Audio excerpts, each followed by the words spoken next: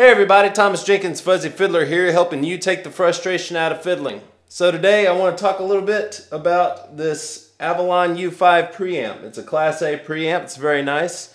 Uh, before I do, I'm just going to play a few notes. I'm directly injected into my computer and I'm just going to play a few notes without it.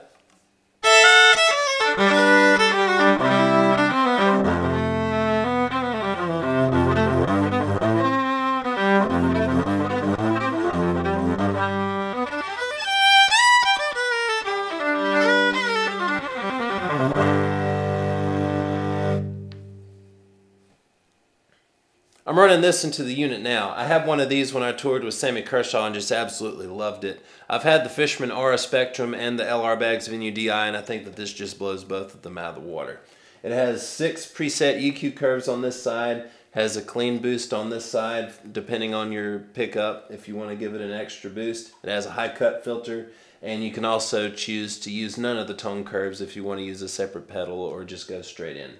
So I'll demonstrate each of the EQ curves with and without the high cut filter. And right now I'll demonstrate what it sounds like without any tone curves at all.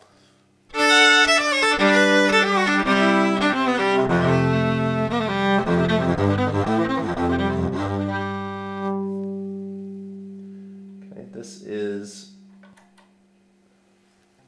the first tone curve without the high cut.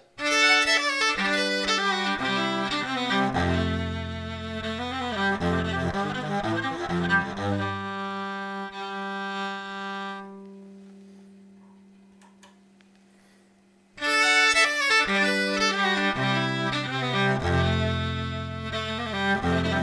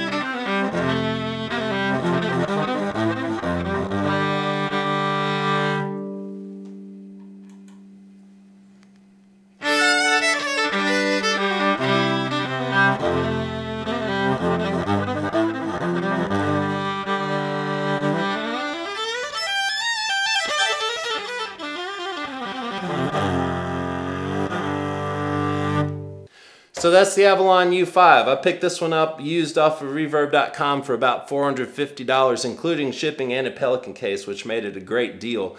You can get just the unit brand new for between 620 and $715, depending on what website you use. If you found this video helpful, please subscribe, like, and let us know your thoughts in the comments below, and we'll see you on the next Fuzzy Fiddler Friday.